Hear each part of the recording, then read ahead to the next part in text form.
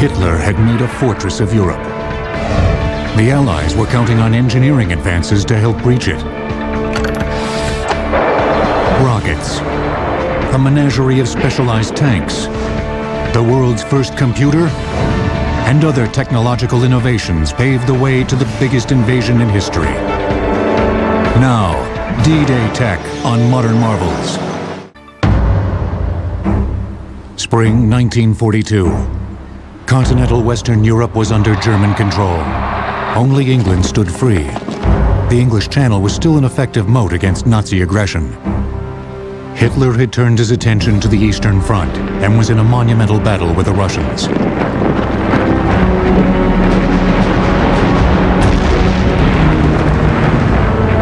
America, having just entered the war, and Russia were anxious to open a Western front, but the British were reluctant.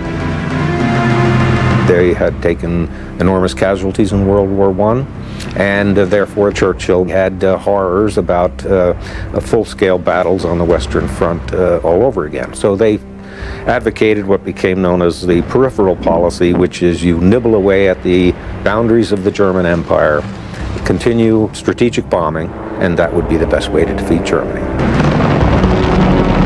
The British approach prevailed in 1942. A second front would have to wait.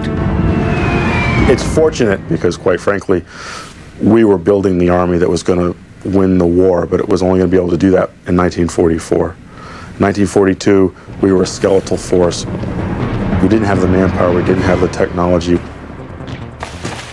During the summer of 1942, a one-day raid along a 10-mile stretch of the French coast that included the town of Dieppe was organized to test Allied readiness to pull off an invasion. It was primarily a British uh, managed operation. It was a Canadian division with some Britishers and some American Rangers, and they attempted to storm the port of Dieppe in August of 1942.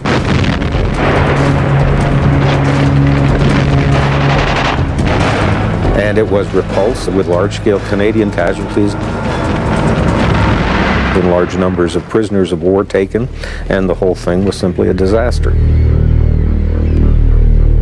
Dieppe raid proved that there was a certain amount of foolishness in attempting to capture one of the heavily defended, heavily fortified port cities on the English Channel coast. Therefore, the idea was to land on a, a shoreline in a largely undefended region. And obviously, we know now that Normandy was the site that ultimately was chosen.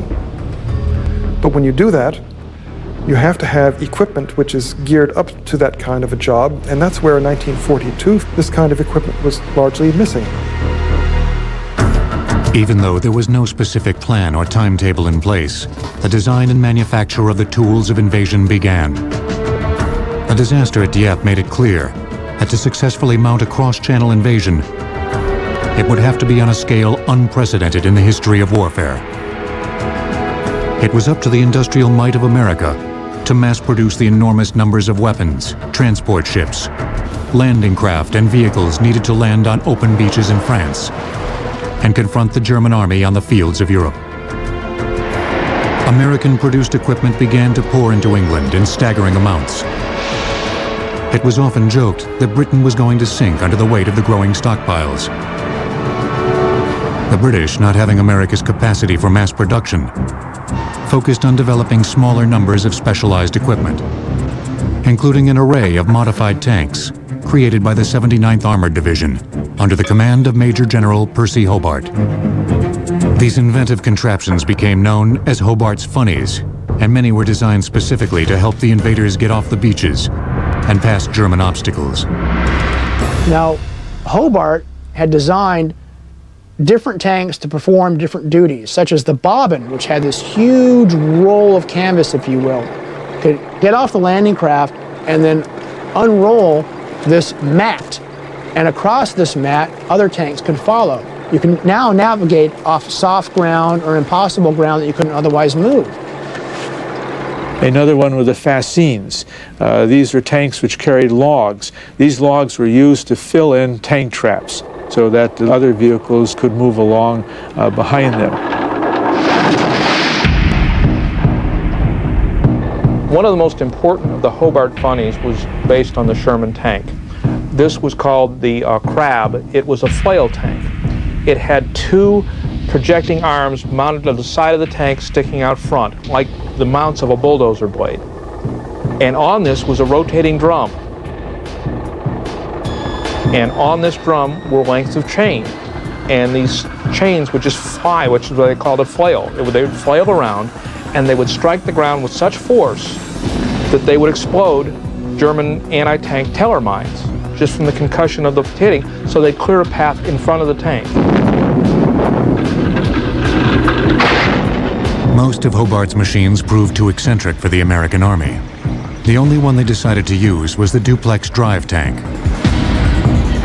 It was a Sherman tank with standard treads for driving across land and a set of propellers that could be engaged to move the tank across water.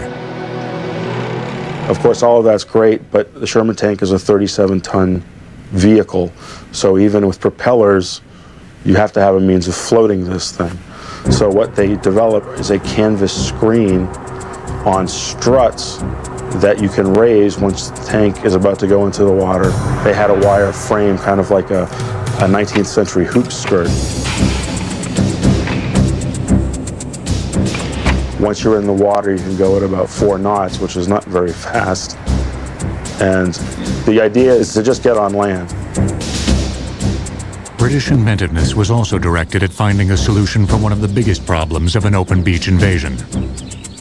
How to get tons of supplies and thousands of vehicles off ships and onto dry land.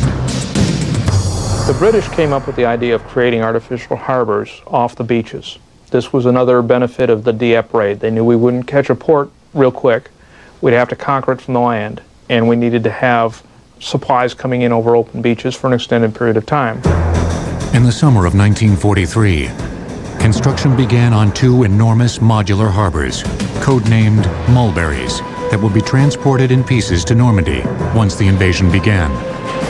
Their various parts were built all over England and Scotland, Huge concrete blocks soon appeared along the Thames River. And German aerial reconnaissance saw these being built, and they had no idea what they were. They thought they were anti-aircraft forts. They didn't know what to make of them, and they never thought about an artificial harbor. As work progressed on the Mulberries, the Western Allies continued to amass their equipment and train their troops for invasion. But meanwhile, Russia continued to take tremendous casualties in its epic battle on the Eastern Front. In November of 1943, Franklin Roosevelt, Prime Minister Churchill met with Stalin at Tehran, Iran, to discuss post-war settlements, to discuss uh, uh, the Far East, for example, but uh, also what came up was the invasion, the long-promised invasion. And Stalin repeatedly uh, expressed doubts as to whether the Americans and British were serious about this. They had put it off so many times. And finally, it kind of came down to the matter. Uh, Stalin says, if you're serious about this, you will name a commander of this invasion. Have you yet? Which prompted Roosevelt then to make his decision to appoint Dwight D. Eisenhower as the overall commander uh, of the invasion. With Eisenhower's appointment as Supreme Commander of the Allied Expeditionary Forces, the planning for D-Day intensified. Codenamed Operation Overlord, it had a location, the French coast at Normandy, and a timetable, late spring of 1944. A major deception campaign was undertaken to feed the Germans misinformation about the time and location of the invasion. They start Operation Fortitude and the goal there is to convince the Germans of a couple of things. One, that we're going to land at the Pas de Calais, which is only 20 miles across the channel, and the other, that we have such a massive force that the initial landing, that's only just the, the tip of the spear. There's more to come. A pretend Army division was created, called the 1st U.S. Army Group. FUSAG only existed on paper, in fake radio traffic, and some specially built props.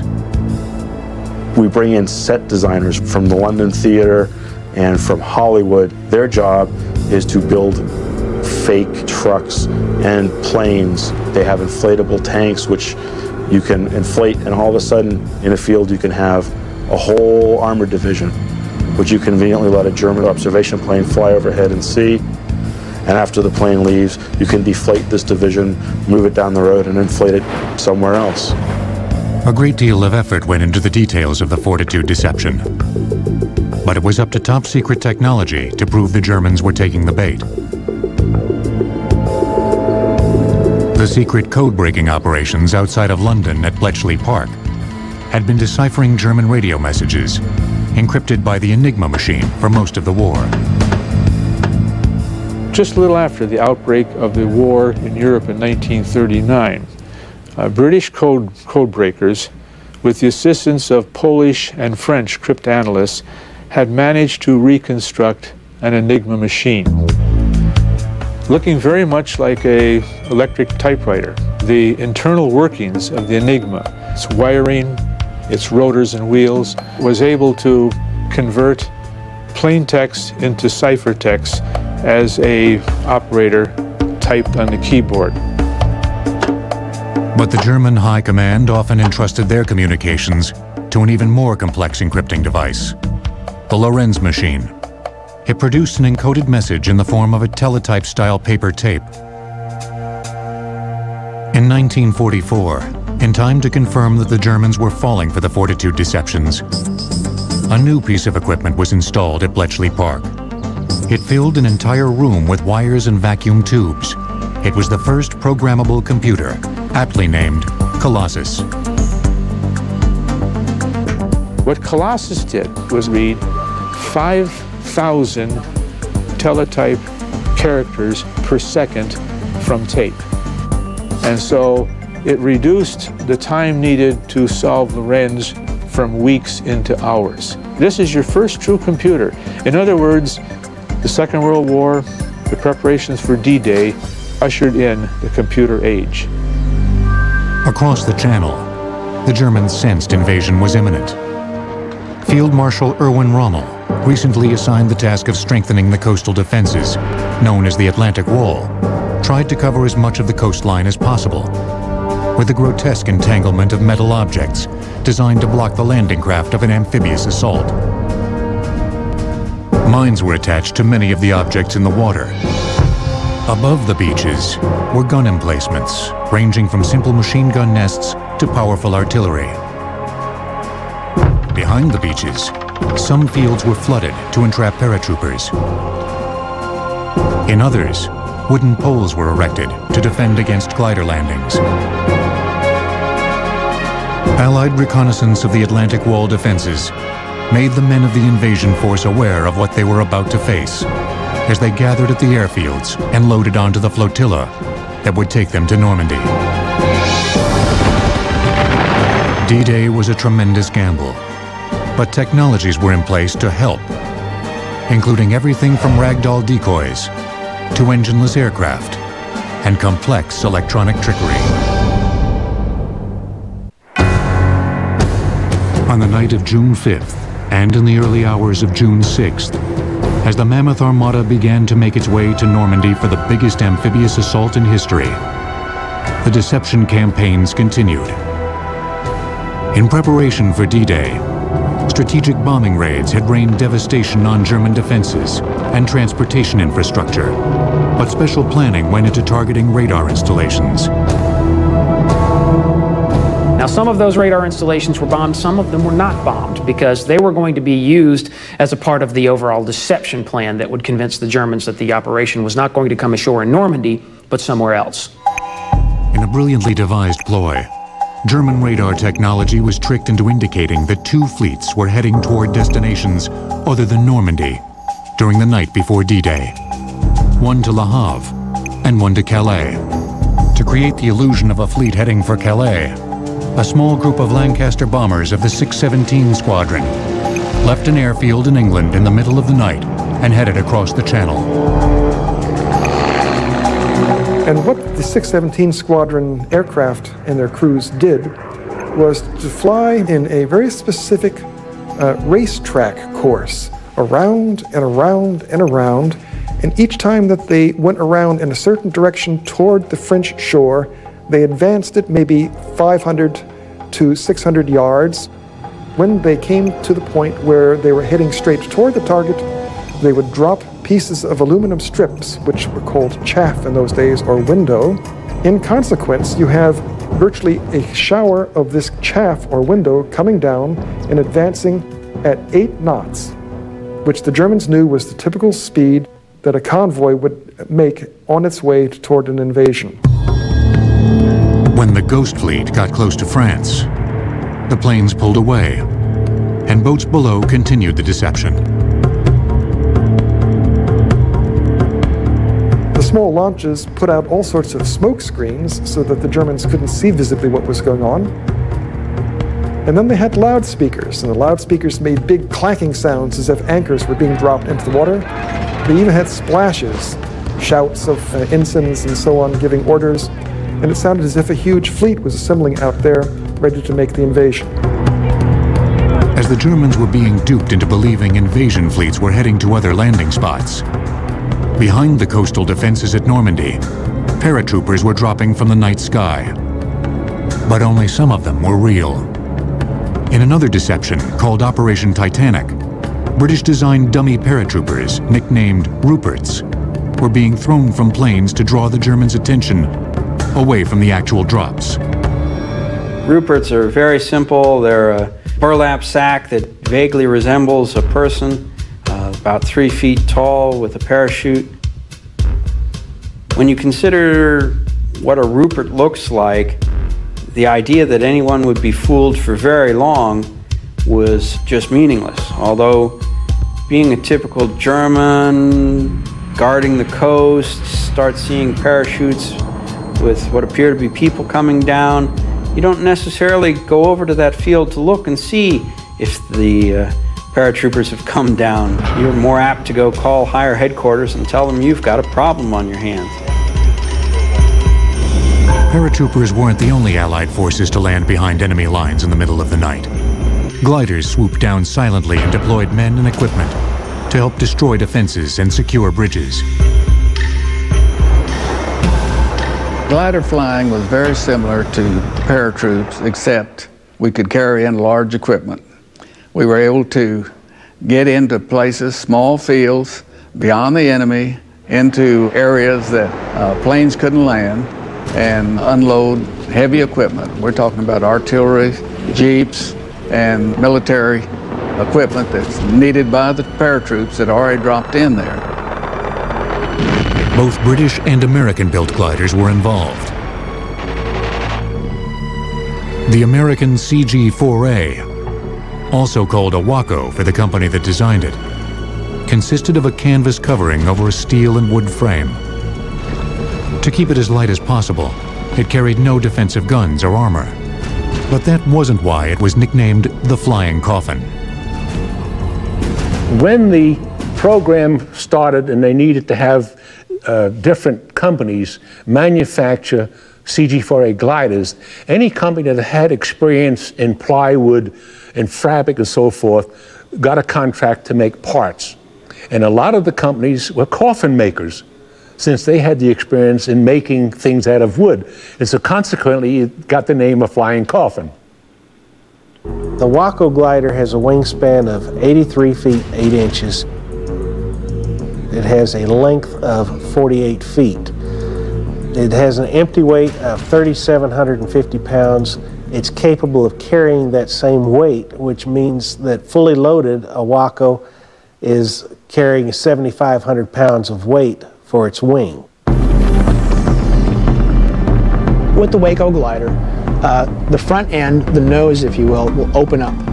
So now you basically have an open box with a ramp that you can drive a Jeep into or back up the Jeep into or push an anti-tank gun or an artillery piece up into, block it and secure it, tie it down for flight.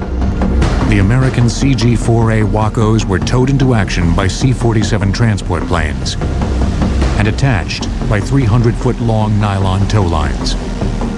The gliders used the same controls as a conventional aircraft. Elevators, ailerons, and a rudder. The instrument panel on the glider consisted of only five gauges.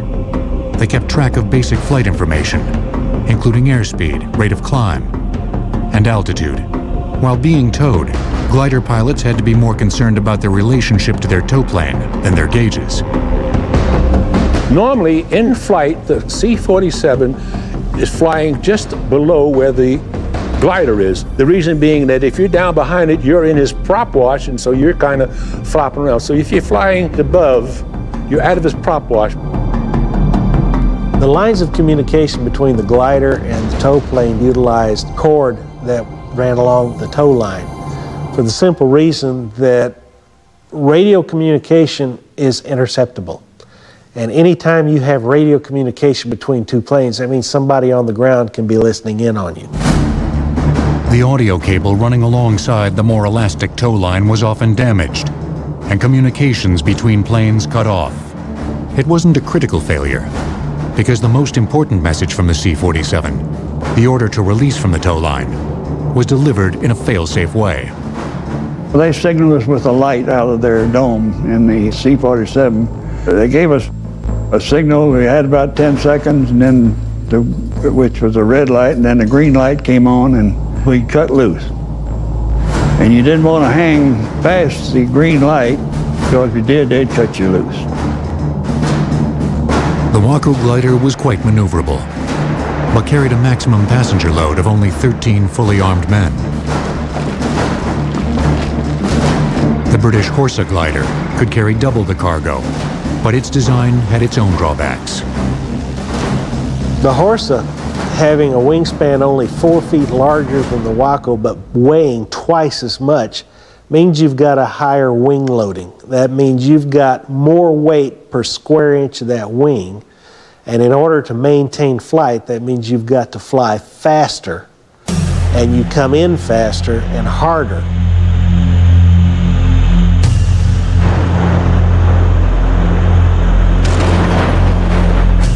The gliders, British and American, suffered severe landings.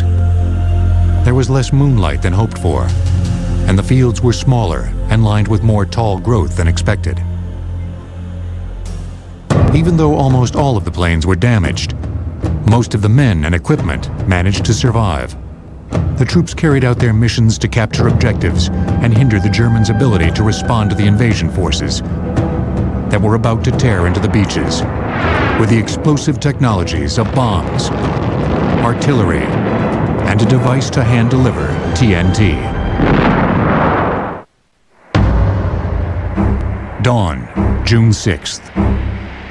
The amphibious assault of Normandy, codenamed Neptune, had been delayed by one day because of storms. The seas were still choppy, and the weather far from ideal. Allied bombers roared overhead in a final attempt to weaken German coastal defenses. But many missed their targets due to the low cloud cover. Then it was the fleet's turn to open fire. Warships and the fearsome new technology of landing craft armed with over a thousand rockets each bombarded the coast. The goal? To knock out enemy guns, blow holes through beach obstacles, set off mines, and kill or unnerve as many of the enemy as possible. It was the 1944 version of shock and awe. During the deafening barrage, men clambered off the transport ships into smaller landing craft that would take them to shore. When the Allied guns halted, it was time to hit the beaches. The British came ashore at Gold and Sword. The Canadians at Juno, and the Americans at Utah and Omaha. The men at Omaha had it the roughest. Many of the German obstacles and gun positions had survived the opening air and naval barrages. One of the units first ashore are the amphibious engineers, and their job is to go ashore and blow gaps through the enemy wire. You know, here the Germans have laid strands of barbed wire entanglements up and down the beach where your men can't just run through that. So they have to take out the wire. How do they do that? Bangalore torpedoes. Bangalore torpedoes. Five foot lengths of two and an eighth inch diameter pipe packed with explosive were simple yet effective. They're light enough that a man could carry one or two pieces, and so a squad or a platoon could carry a number of pieces. And when the path was needed through a barbed wire entanglement, you put on a nose cap and you kept pushing ahead pipe after pipe after pipe, put a blasting cap in your last piece of the Bangalore torpedo, set it off. The steel from the pipe, as well as the explosion, would blow a gap right through the barbed wire and also explode any mines in the gap. And that gave you a way to move forward. Once beyond the barbed wire, the Allies used 10-foot wooden rods with TNT attached to one end, called pole charges, to take out enemy bunkers. And the idea here is if you want to blow a hole through an enemy bunker, the assaulting infantryman or engineer has to run up under fire to the bunker, place the pole up against the bunker, knock one end firmly into the ground, and as he does that, the hinge plate will swing up flush with the bunker. And here you have all these blocks of TNT now firmly against the bunker. At that time, if he hasn't been killed by the Germans, will set the fuse and run like hell, at which time the pole charge will go off and hopefully blow a hole through the enemy bunker. Bringing the men to shore at Omaha was the smallest of the landing craft used that day, the LCVP. Each one carried just 36 men, the flat-bottom boat rode high in the water, got the men past many of the submerged obstacles, and delivered them right up to the water's edge. The 36 men inside the squad bay could stand upright with packs on their backs, rifles in their hands, and when the boat beached itself and dropped the ramp, they could unload from the boat in a very, very short space of time. They could be off and in the battle. The LCVP also known as the Higgins boat in honor of Louisiana shipbuilder Andrew Higgins, was an adaptation of a pre-war swamp boat he designed for use in bayou country. Higgins designed boats that were particularly adept at operating in shallow tributaries, in, in, other words, swampy areas.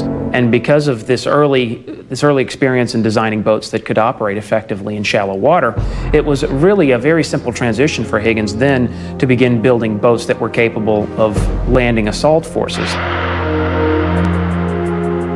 It's got a big six-cylinder gray marine engine in it with a twin-disc transmission. The transmission is really unique in that it can go from forward to reverse at full power. This allowed easy reverse from the beach uh, so the boat could get off the beach once it dropped its load and go back and bring in more troops. The prop design of the LCVP was a channel prop that ran down through the hull and had a protective keel spine that ran out to the back of the boat. So the prop was somewhat enclosed and protected. It has an iron ramp in the front that was lowered by a series of winches and pulleys that were in the inside of the landing craft. But the hull of the landing craft was made of marine mahogany. It's a, basically a wooden boat with a steel ramp. Higgins Industries in New Orleans worked around the clock with a workforce that grew to 30,000 men and women to supply nearly 20,000 boats for the war effort. The importance of the boats that Higgins built was best summed up in the words of General Eisenhower. If Higgins had not designed and built those LCVPs, we never could have landed over an open beach. The whole strategy of the war would have been different. With the first wave of men gaining a foothold on the beaches of Normandy, the next wave of machines, from huge cavernous landing ships to strange hybrid vehicles, was about to rumble ashore. The afternoon of June 6, 1944, the German beach defenses at Normandy had been overwhelmed by a potent mix of advanced wartime technologies and bravery.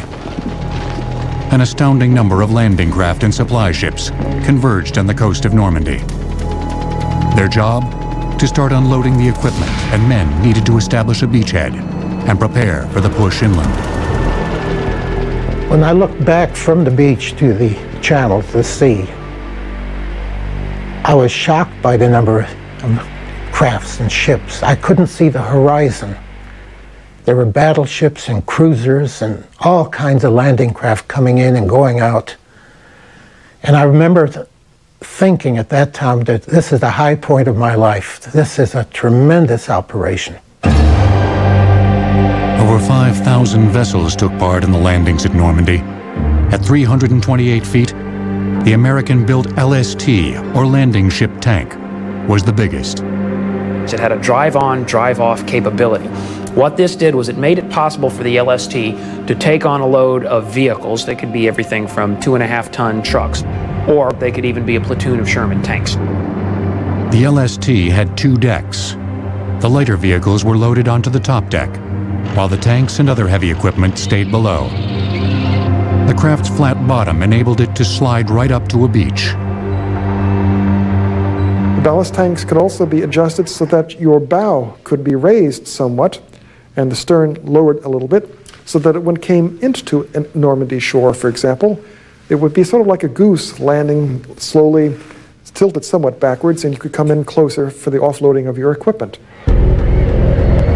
Once beached, the LST's large clamshell doors were opened and the ramp lowered for the quick unloading of its enormous cargo. If the angle of the beach kept the huge LSTs from getting close enough to shore, Rhino ferries were used to haul the equipment to land. Built specifically for D-Day, they were 41 feet wide and 176 feet long and made from steel pontoons. They were powered by two large outboard engines. LSTs were equipped with a dock that rhinos were able to latch onto.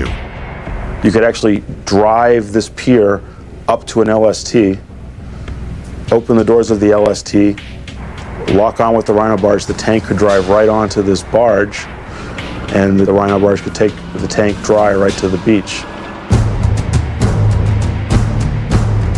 When they crossed the channel with the invasion fleet, each rhino ferry carried its own bulldozer.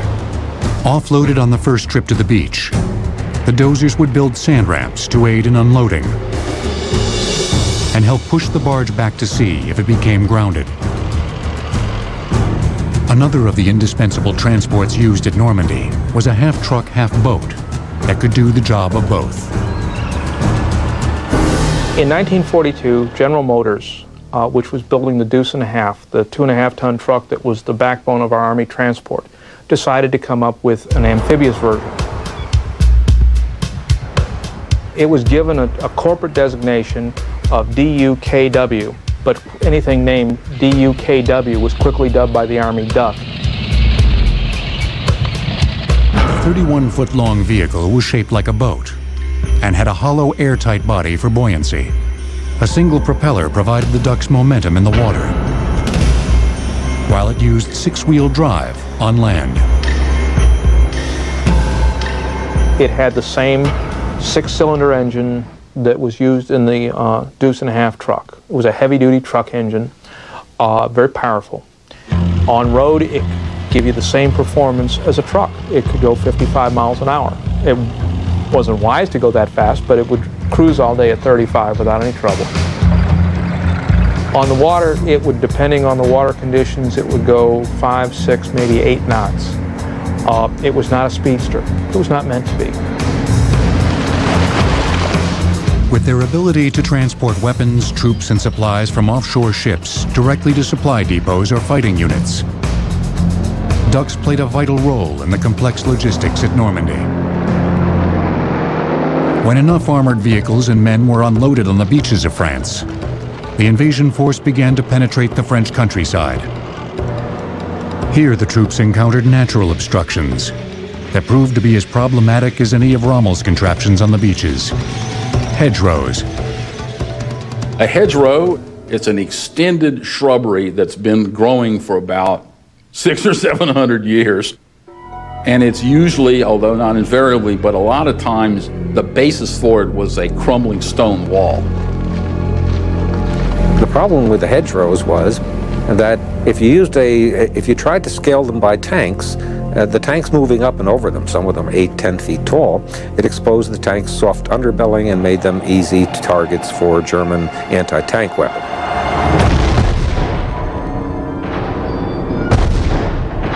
If Allied tanks couldn't go over or around the hedgerows without being exposed to enemy fire, the only choice was to find a way to plow through them.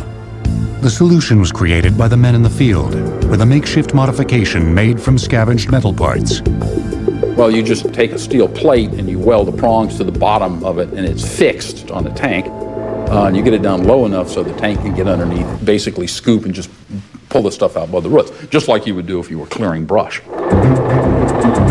To me, a lot of this is what we call spontaneous innovation. Mean, the biggest innovative force that we've got is the basically just ordinary American soldiers who come in from civilian life and they're trying to solve these problems. This sort of on-the-spot ingenuity gave the Allied forces the edge on a day-to-day basis. But two mammoth long-term engineering undertakings, built in secrecy, would help guarantee that the D-Day landings were just the beginning of the liberation of Europe. As Allied men and equipment inundated the beaches of Normandy, the Germans still thought that the D-Day landings might be just a diversion for the real invasion force yet to come. It just didn't make sense to land where there wasn't a harbor to facilitate the unloading of all the men and materiel necessary to gain a foothold in France. Little did the Germans know that a pair of the biggest secrets of the war, the two portable harbors named Mulberries, were being towed into position. Mulberry A would serve the American landings at Omaha and Utah beaches, and Mulberry B would be assembled off Gold Beach by British forces. In the rough seas of the Channel, an effective breakwater was the most vital part of the puzzle that made up the Mulberries. It was for this purpose that a series of up to 200-foot long and 50-foot wide concrete caissons, codenamed Phoenixes, were built. They brought them across the English Channel by large tugboats, positioned them where they want to have the, the breakwater, and smaller tugboats would position them very accurately. Then they would open up the sea valves underneath them and sink them. Of course, they had to know the depth of the uh, channel there, which I understood that the Royal Engineers had all that surveyed. To create secondary breakwaters on the outer edges of the harbors, old ships were scuttled.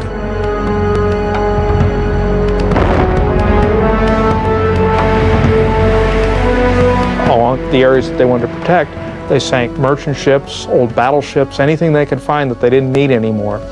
Uh, some of the ships were sunk in relatively shallow water so that the decks were still above water, and they were manned with anti-aircraft guns and crews for a period of time after the invasion. To provide a dock for ships to unload on, steel rectangular floating pierheads were built, with legs that allowed their platforms to rise and lower with the tides. Each Mulberry utilized six miles of flexible steel roadway. Flotation was provided by steel and concrete pontoons. This enabled the men and equipment being unloaded at the pierheads to drive over the water and arrive on dry land.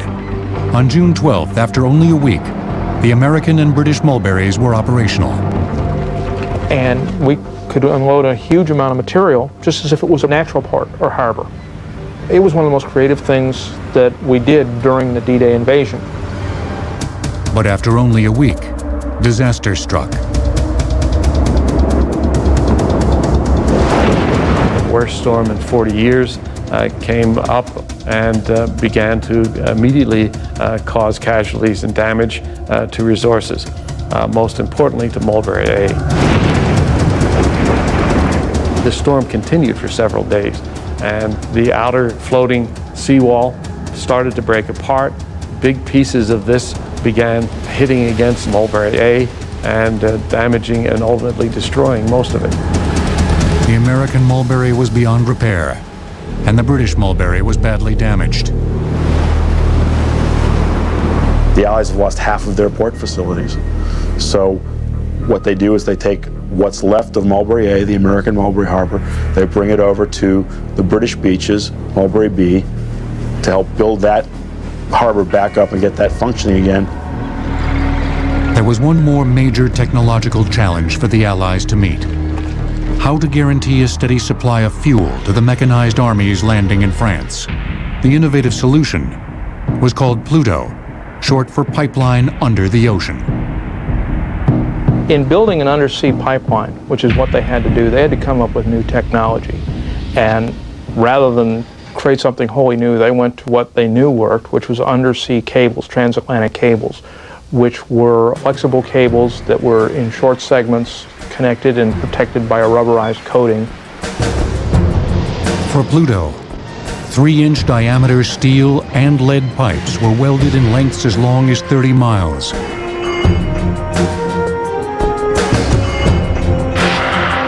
They were wrapped in a protective and flexible coating that included layers of paper, steel tape, and steel armor wire.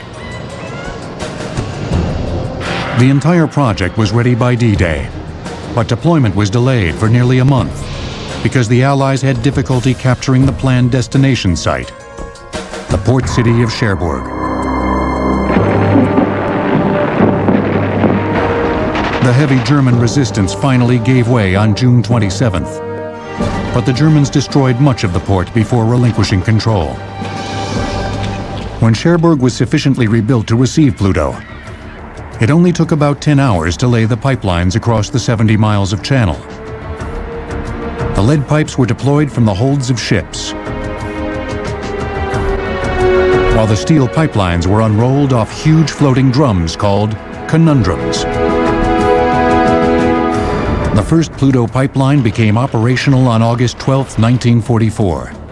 During the next several months, over 500 miles of pipeline were laid across the channel and over land to keep pace with the forces as they made their way east. Even though one of the mulberries had been destroyed by a storm and the initial laying of the underwater pipeline had been delayed, these two engineering marvels helped the Allies ride toward victory. They joined all the new machines, electronic trickery, and scientific breakthroughs as part of the Herculean effort that went into the success of D-Day. Technology was an important tool to achieving victory, and it was necessary because without the technology, the cemeteries that overlook Omaha Beach would have been much larger than they are.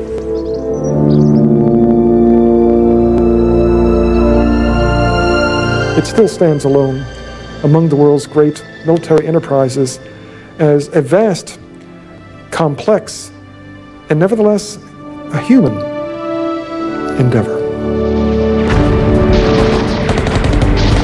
With the D-Day landings, the Allied invading force had successfully breached Fortress Europe, would soon liberate France, and then roll toward Berlin. The technology the Allies developed for the ultimate military assault helped give them the advantage and change the direction of the war.